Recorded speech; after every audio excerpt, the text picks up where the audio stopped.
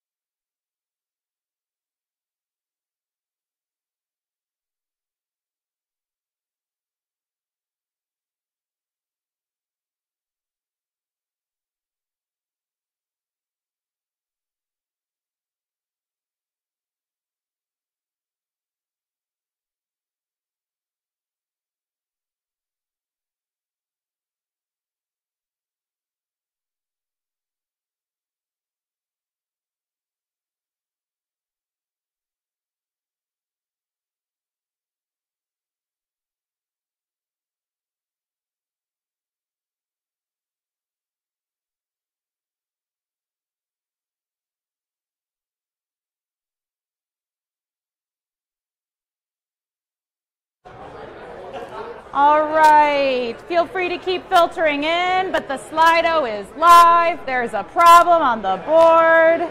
So yeah, at some point just pull up the Slido questions and like answer them. That's what I'm going to try and do today. Thank you. And they'll start coming while you're answering. Yes. I have I have slides that say questions. If I don't remember to do it, that's when I should pull it out. Half on. Half on. Okay.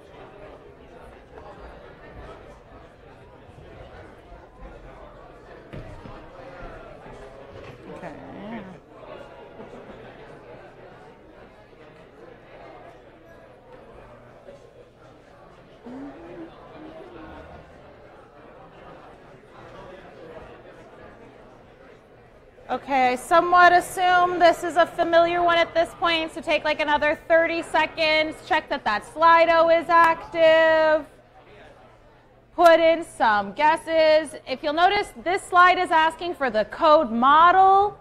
The Slido is asking for the big O, two different things. So don't be tricked by Tricky Casey.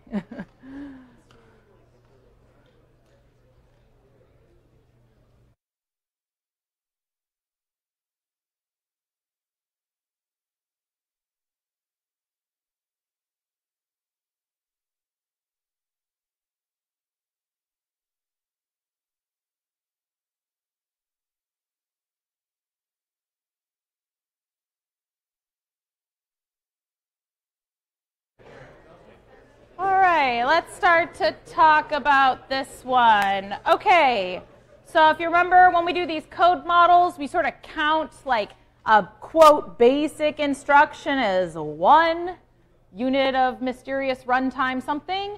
And I like to kind of start from the inside of control structures and go out. So I would probably personally start with that println line that's inside of the most inner for loop. Uh, maybe with a show of fingers, how many how many points would we give to that one? Yeah, yeah, I like it. You know what? If you held up a two, yeah, maybe you give one for the dot get. Maybe that counts as one instruction, and then the act of printing it out that counts as two instructions. Like I said, we don't care so so much about the specifics. but maybe we'll give that a 2. Uh, then we have this for loop that runs from 0 to size. And now if you notice, nothing here is called n. I did that on purpose. All the ones on uh, Monday, they had a parameter input that was like called n. In this case, I didn't specifically call something n. You have to decide what n is. Um, so how, how many times does this inner for loop run, just the inner one? What would we say the, the number of runtime units of that total for loop is? Anyone want to raise their hand and maybe give me what they think? Yeah.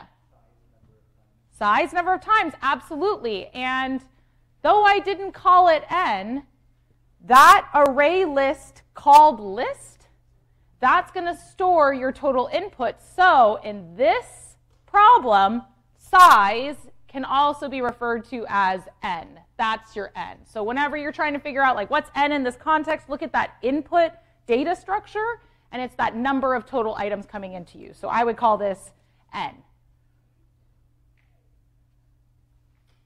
Then we have an outer for loop. How many times does that outer for loop run? It's related. Yeah, way in the back. Also n, absolutely, because it's also based on list.size. So now that we've got these sort of like, we've got the innermost uh, instruction, that's iterated on n times, and then that whole thing is iterated on n times, we have to do multiplication because the println is going to get executed n times for every n times. So we end up with 2n squared as the code model. Does anyone have any questions on how I got to the code model? Yes.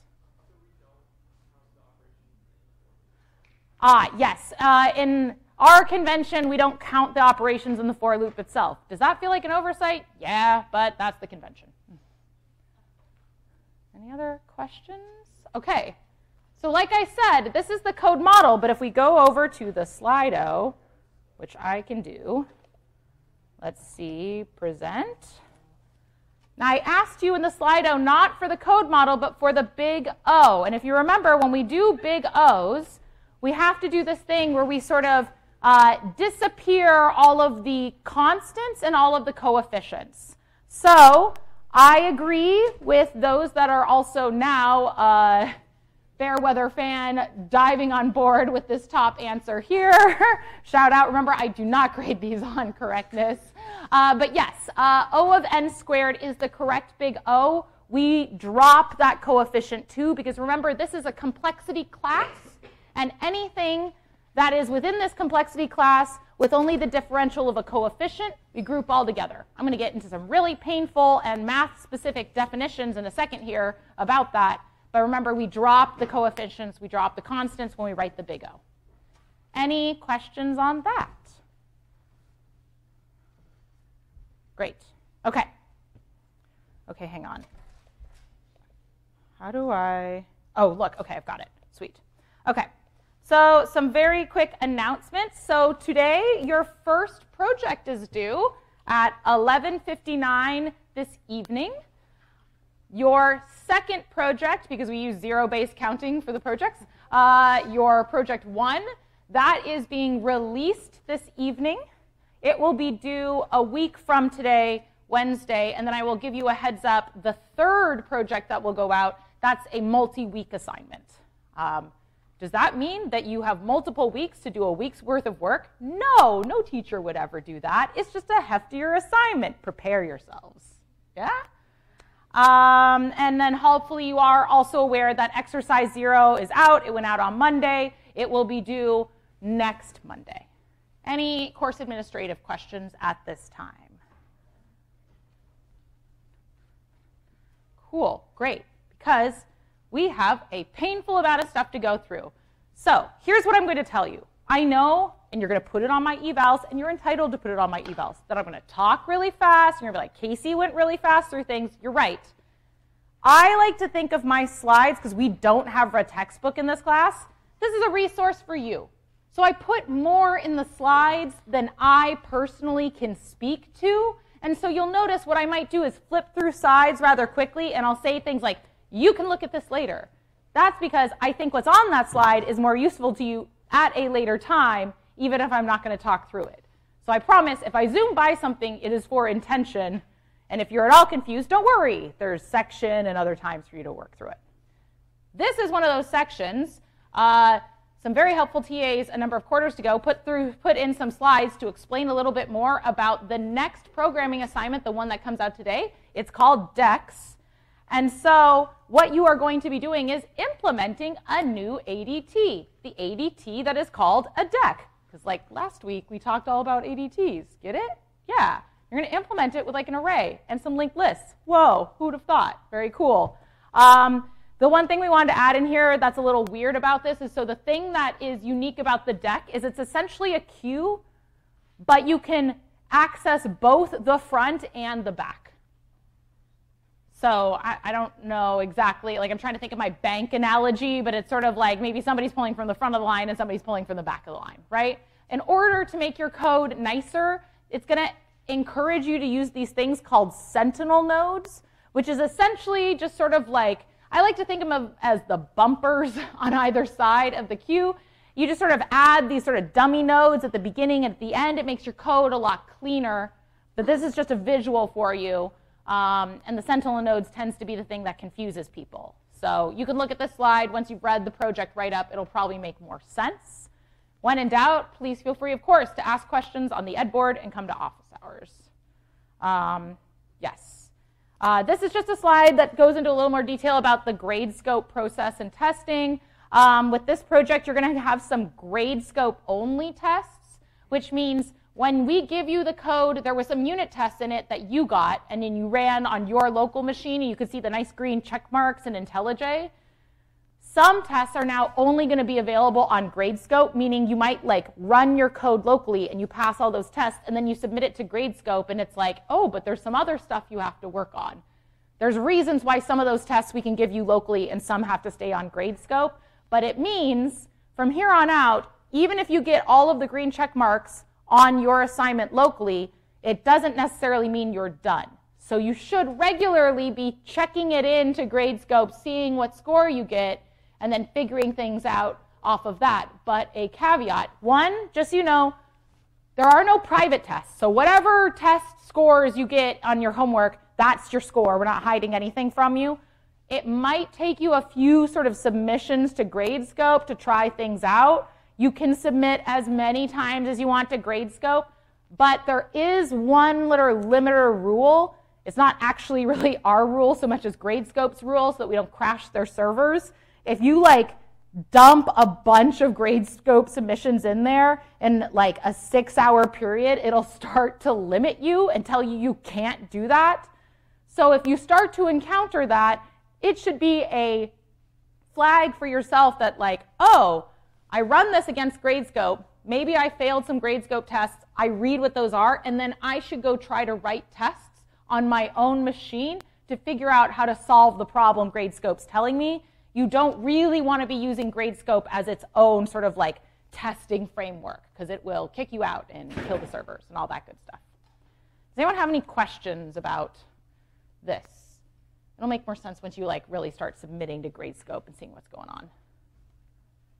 Cool. Okay. Um, here's some like helpful things about working with a partner. Um, I think working with a partner on code is one of the most important things that you will do because nobody writes code alone, and also knowing how to use Git and to collaborate, all that stuff is good.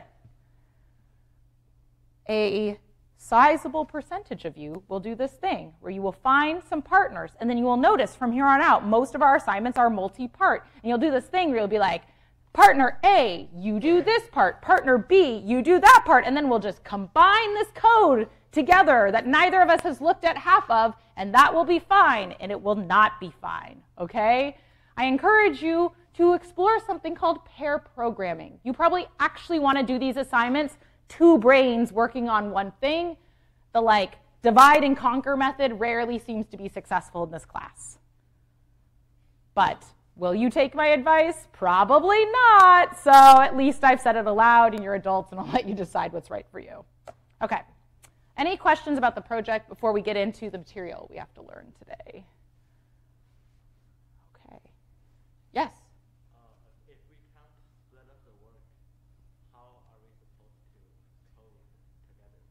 So there's this thing called pair programming. And that doesn't sound like an official thing, but it is an official thing, and it's got all of this theory behind it. And what it usually means is two humans looking at the same screen, and then you trade off between roles. We call one role the driver, which is the person like typing, and then one person the navigator, and they're the ones usually being like, oh, kind of like we should type this, type that, whatever's going on. And the way pair programming works according to theory is those two roles need to swap like every few hours or so. You'll probably find the swap rhythm that works best for you. Lots of research has been done. Pair programming makes magic happen. There's something about, oh, I'm just sort of listening versus I'm directing and having switched those positions, two faces, one screen. Magic happens, I promise you. Also, then you can go into any interview and be like, oh, yeah, Professor Casey told me we should do this thing called pair programming, and your interviewer will be like, You did pair programming? I'm so impressed. What an industry standard. My gift to all of you. So that's my suggestion, but find the way that works best for you, honestly. Any other questions? Cool. Okay. Big O, great. So we sort of, um, like very briefly at the end of lecture on Monday, got to this formal definition of big O. Previously, I'd been sort of like, ah, if there's no loops constant, ah, if there's one loop linear, right? But we're going to get into the portion of the course now where I used to make people do math. I'm going to show you math instead. So here's our formal definition in that purple box there. f of n, which is our function of runtime, that's our code model.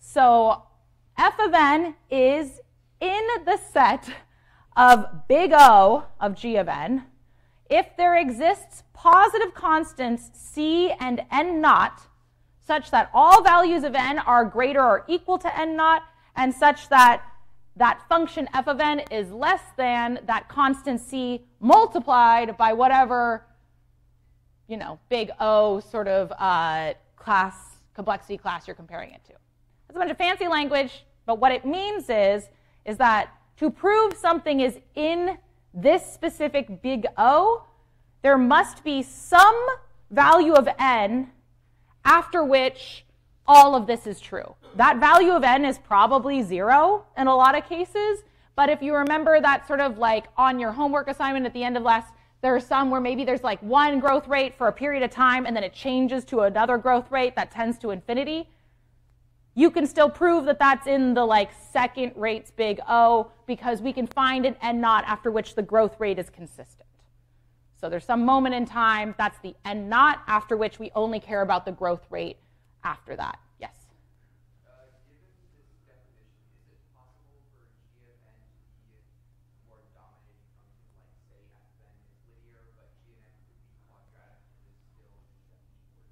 Wow, thank you. That was not a plant. Um, okay, so what I'm also going to show you is you can see the little alligator mouth here means less than or equal to. And to our friend's question, we could say have like the, like let's take our f of n from the warm up, f of n of 2n squared.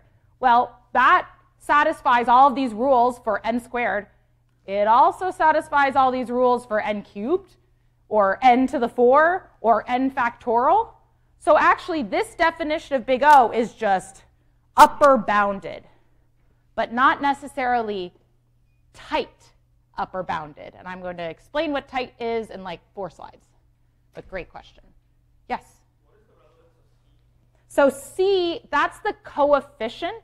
And so that's, if you remember when I was showing you those graphs, I was like, oh, look, if you look at like n and 2n, they look really different at small values of n, but then we zoom out and they look like they're almost on top of each other. That's what the C is. It's the coefficients. And so what this is saying is, for example, if I was comparing like, hey, is 2n, you know, upper bounded by 3n? Yes, because the 2 and the 3 can, you know, be different coefficients. It's not about the coefficients, it's about the factor of n. In fact, let's talk about how to prove this with the C and show you why the coefficients don't matter according to our definition. So let's say that we want to show that the f of n of 10n plus 15 is big O of n. So what I'm really comparing here is that 10n plus 15 function to the function of just n. And I want to show that there exists a value c and a value n naught that satisfies that definition in that purple box there. So what I would do is I would sort of apply the definition term by term. So I separate them on that plus sign and I would say, okay, well, like 10n, is that less than or equal to some c times n for all values of n after some n naught? And then is just the constant 15, is that less than or equal to c times n after which all that stuff? And so there is very formal math ways to do this. This is the way that we do proofs historically in this class is that I don't care if you pick the best numbers to prove this. I just need that you need to pick some numbers that satisfy this. So I'm going to try and keep it as obvious as possible. So in that first term, if I pick C to be 10, well then I have an equation that says 10n is less than or equal to 10n. And that is true for all values of n. Great. So there's a C that satisfies that term. And then I have 15. If I choose the C of 15 there, is the singular value of 15 less than or equal to 15n? Well, yeah, as long as n is greater than 1. It's 1 or greater, right? Like if n was a fraction, that wouldn't satisfy anymore. But for all positive values of n, just the number 15 will always be less than or equal to 15 times some positive number. So I found a C10 and a C15 that work for the independent terms. Then I can just recombine them. And so I sort of apply those things through and I just satisfy that like, yes, this comparator, that alligator mouth is happy. So now I've added up all my truths. You do a bunch of math. I'm not going to ask you to do this math anymore. But I, what really matters is just that sort of term by term that I can find those C's and, and knots that satisfy this definition. So what I really want you to take away from this is just there is a rhyme and reason as to why we pick this particular definition of big O. It's just a really formal math way of saying, yes, we care that the overall growth is upper bounded, but we don't care about the coefficient. And we only care as n tends towards infinity. That's really what this math is here to prove to you. Does anyone have any questions on this slide? I'm not going to ask you to do these proofs on an exam. Um, I think you might do some practice in a section with your TAs because I think this does help sometimes when you do it on your own. Um, this is some more detailed stuff of what I just talked through. I'll let you read this slide if you want to practice on your own. Um, it might do a better job than whatever I just articulated verbally. Um, okay, so coming back to our friend's question. Big O is an upper bound. So here we've got the f of n, which is 10n squared plus 15n. Does O of n cubed satisfy our definition of big O? Can we do that same type of proof, but with a big O that we all probably know is significantly larger doesn't tightly bound this in the same way.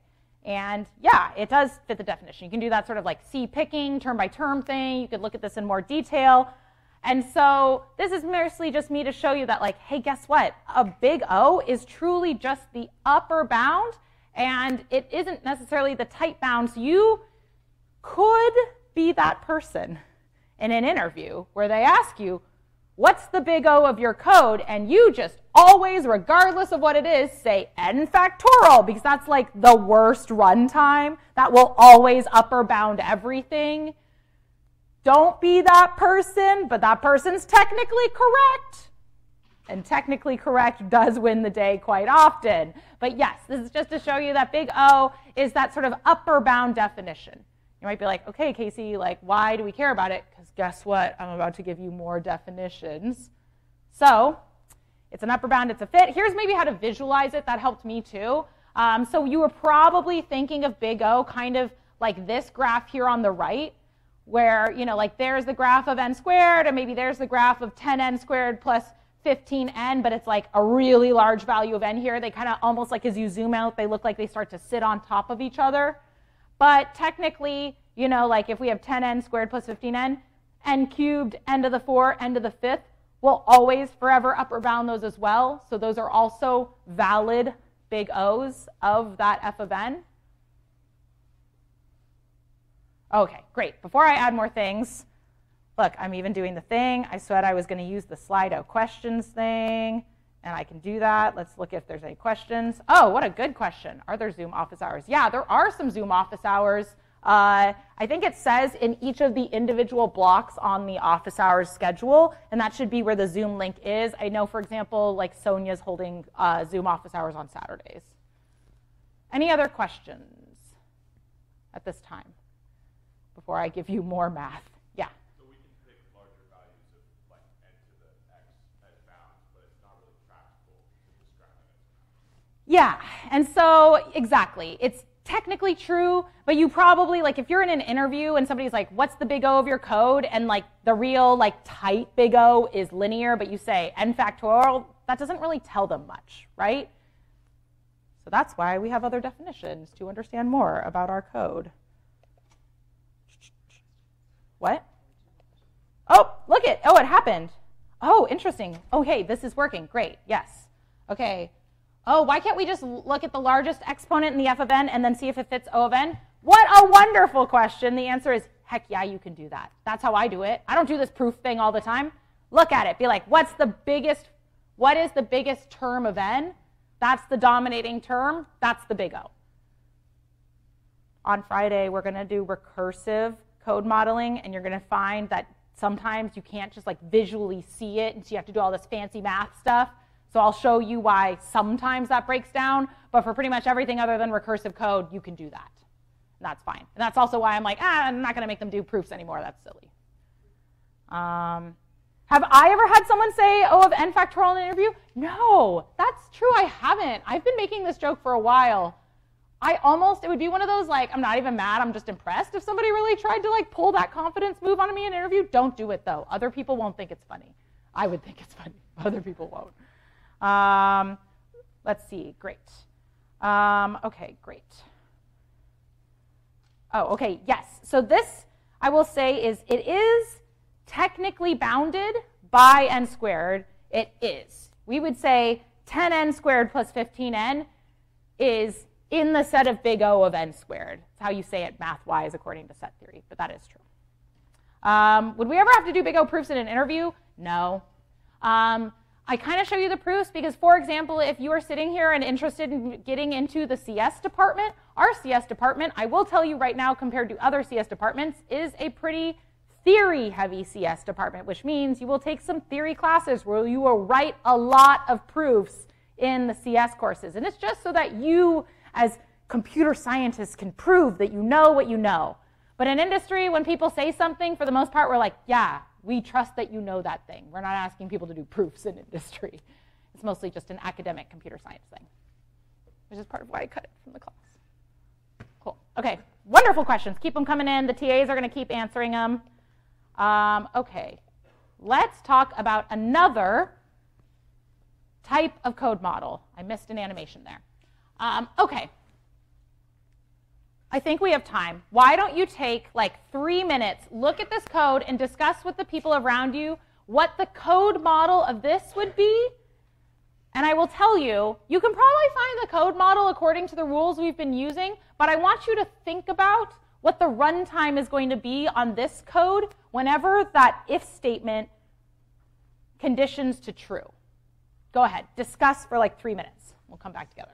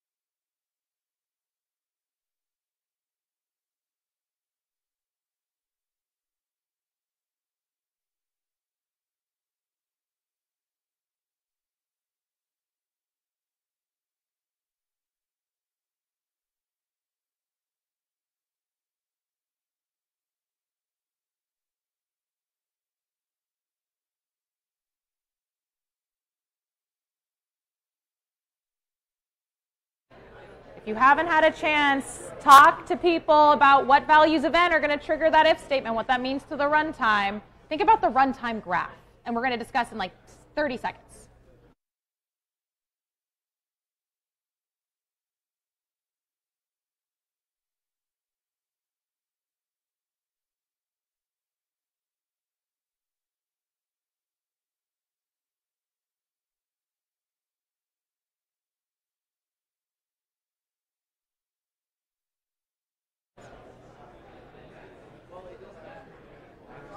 All let's talk through this.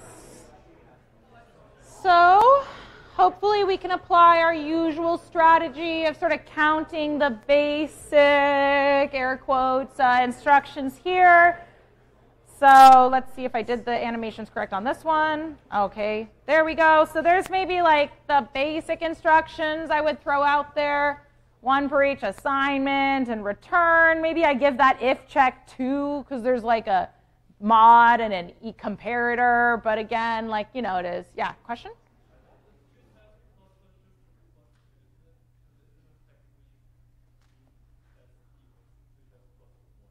Sorry, are the.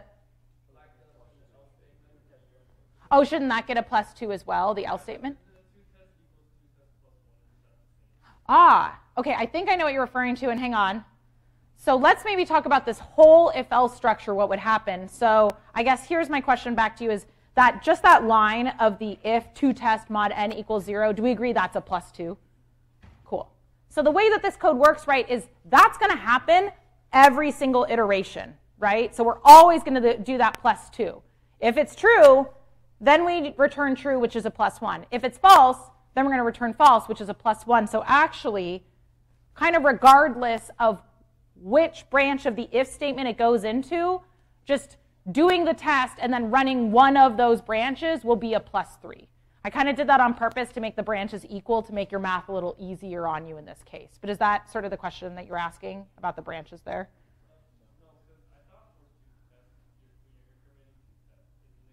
Oh, sorry. You know what? I do agree. I like that when I said to test plus plus yesterday, I said that's like really two actions happening, right? An increment and a reassignment. You convinced me. Yeah, I agree. I would change that to a two. Sure. Good catch. I like that.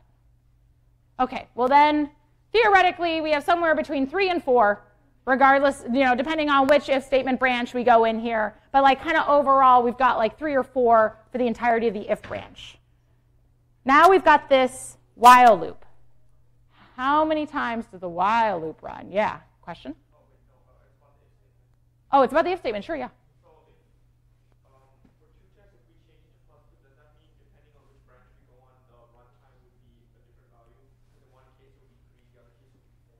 Yes, it would. And like in this case, because those are like a constant off, we would probably not care. But you could imagine what if one of the if statements was like, calls a method and did a bunch of stuff, or like did it contains. One of the other methods like did another method call that did a bunch of other stuff. So yes, depending on the branch, you could have very different runtimes. In this case, it's like mostly negligible, but yes. Oh, um, you would actually end up writing like either three or four, but um, in this case, because we don't care about the constants of the two of those, I'm just going to collapse them together. So now here is the actual tricky part. How do we, how, what is the overall runtime of this while loop? What would we want to put against this while loop? 405? Sorry, 4 or 5? Oh, okay. Like, I mean, it's running from the value 2, it's going to count up, and it's going to run until either I return true, and if I never return true, it's going to loop until some value n. So what would we say the number of iterations of the while? Yeah. Yeah, I would I would say n too. But there's that return inside of that if statement, which if you read that, if you notice, is going to trigger on every even value of two test.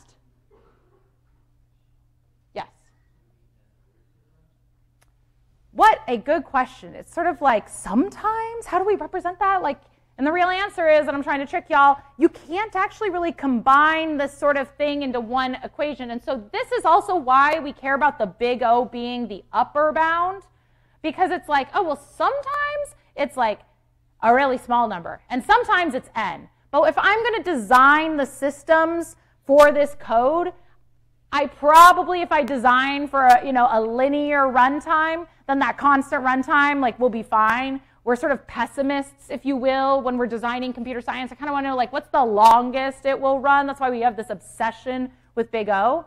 But let me show you the graph of what this runtime actually looks like. Yeah, question.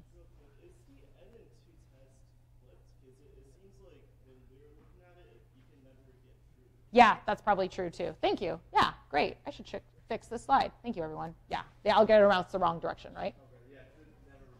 Because it never returns true. Yeah, absolutely. So let's assume that code doesn't have those typos in it. This is what that code would sort of look like. And this is actually like the act of finding prime numbers. If I was like trying to find the value, if the value of 10 is a prime number, 10's mod by 2, and so I would like immediately, you know, dive out of that. So all even values very, very quickly, and also, you know, like values that have, say, you can see the fives here, very quickly I can find that the values of 5, like, they aren't prime numbers.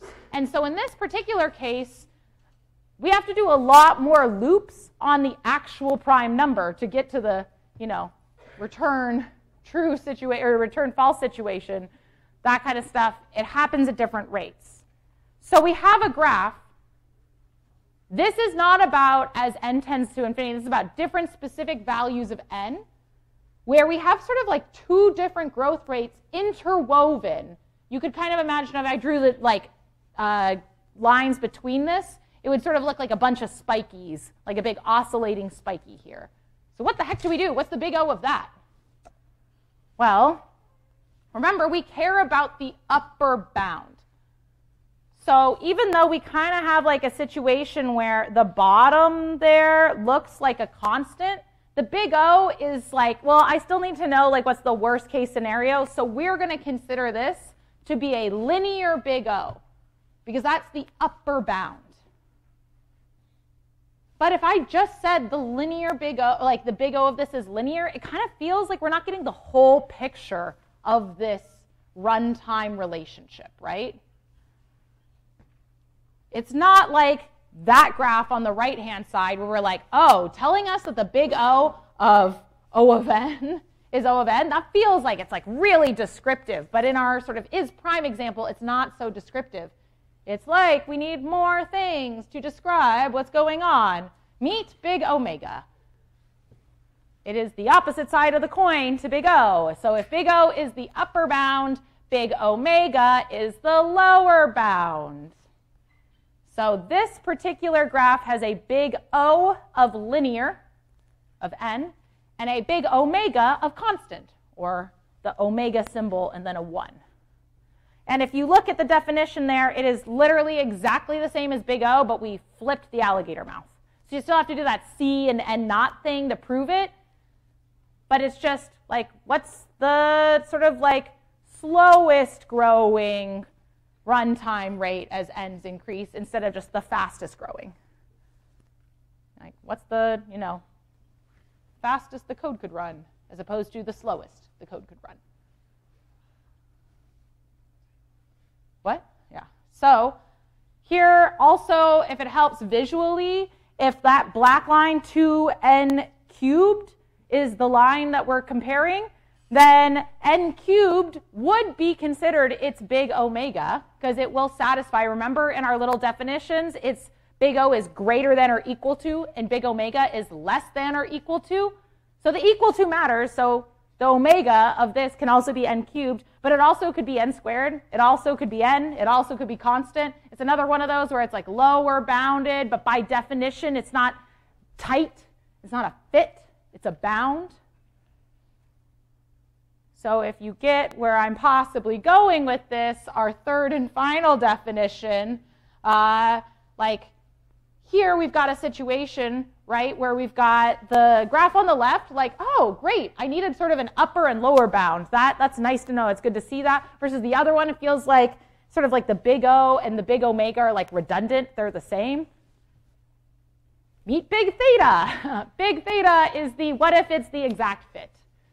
Uh, and so you can see again, like it is one of those things where it is about having two sort of bounds on either side. And if the two bounds on either side are the same complexity class. That's like the math definition. Again, I don't care so much about the math definition.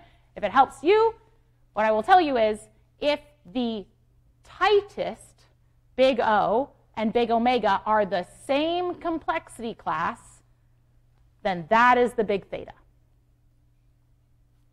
So fit, the best fit line, that kind of helps your brain too. Called the big theta. Casey, in interviews, aren't they almost really asking for the big theta, but they call it the big O? Why, yes, imaginary student. That's also why people in industry, if you say the terms big omega and big theta to anyone in industry, they will either be like, oh, maybe I remember that from undergrad once upon a time, or they will be like, I have never heard those terms. These are very academic things. I use it to deepen your understanding of the limits of big O. And now, if you ever get into an argument and you have to pull this out, because I have pulled this out, it will shut people up really fast because they realize that they've just been waving their hands and doing gut checks of big O instead of actually doing their proofs. And often, sometimes, they can be wrong. But you are now armed with two more tools in your arsenal for debate. So, what about our example here? I said if the tightest big O and the tightest omega are the same, then that's the theta. But we've got a situation here where the tightest big O is linear and the tightest omega is constant. And those are different complexity classes. So this is an exception. The big theta does not exist. I don't know why I will forever hear it in Lindsay Lohan's voice, but now hopefully you will too.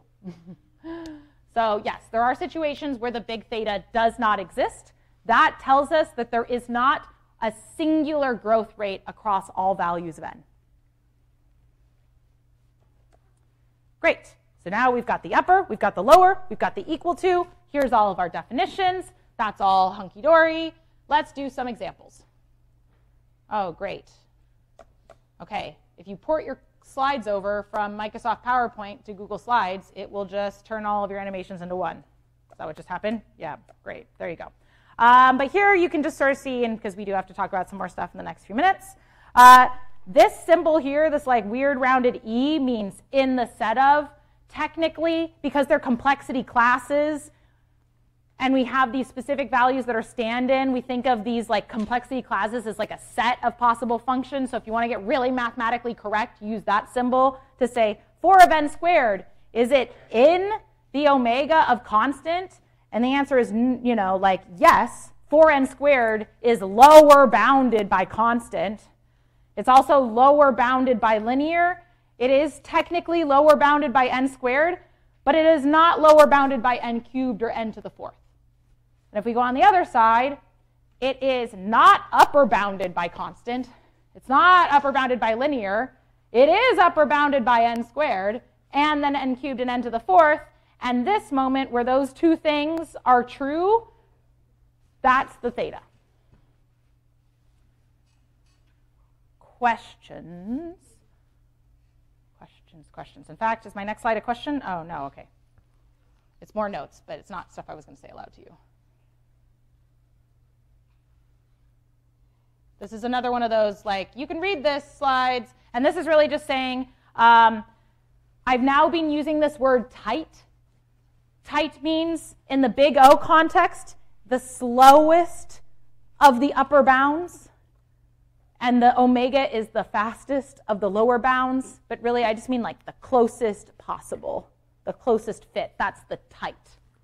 Um, and then simplified, if I ever ask you for the simplified tight O bound, the word simplified means if you have a code model, I want you to drop out the constants, drop out the coefficients. So for example, if I ask you for a big O or a big omega, and you give me something like 3n or n squared plus 4, that is not simplified. Drop out those values. I just want the term of n. That's simplified, and if I'm looking for the thing that is as close as possible to the fit, that's the tight word that I'm talking about. great. That's the slide I was looking for. I'm going to pop over to the Slido. Does anyone have any questions so far? Maybe I do a refresh. Yes, please. Thank you. Oh, like what if the graph doesn't start from zero? Yes, so that you have to find that n naught where that growth function, you know, you can see that tending towards infinity. But for context, we don't care about uh, like negative n values. So even if your growth rate, like maybe it doesn't start at zero, maybe it like right off the bat it starts at a thousand because you do something really expensive at the very beginning. That's fine. I don't care about where on the y-axis it starts. I care about its growth trajectory. Yeah.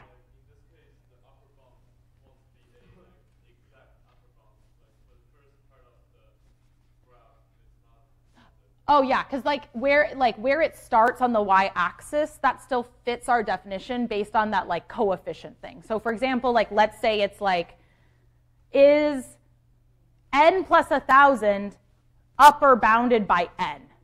And so in that context, you would sort of like start that n up a thousand on the y-axis, and this n would start here. But like that plus thing that still fits within our uh, definition of the big O. So that sort of constant is okay. Yeah.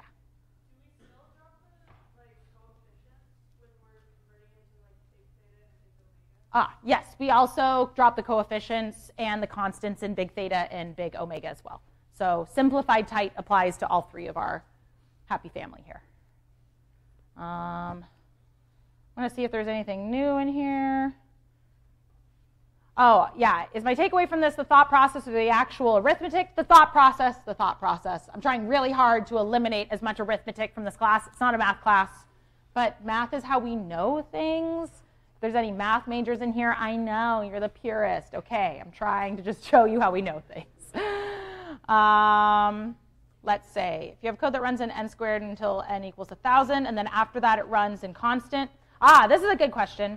If you have code that runs in O of n squared until, say, n equals 1,000, and then after that it like levels out, something weird happens in the code, what do you guys think? What's the big O? Is it n squared or is it O of 1? O of 1, because then our n naught just has to be 1,000. I don't care if that's a really big number. I don't care if n naught's 10,000, as long as it goes until after. Ah, darn, I didn't get to case analysis. Okay. We're out of time. I will have to pick up with case analysis on Friday. Please come back on Friday. We're going to do some really fun, tricky stuff with recursion. Look forward to it. All right. Thanks so much, everybody. See you Friday.